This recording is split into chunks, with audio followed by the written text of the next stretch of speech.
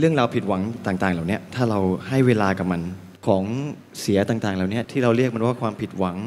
ในวันที่เวลามันมันบ่มมันจนได้ที่ให้เวลามันทำงาน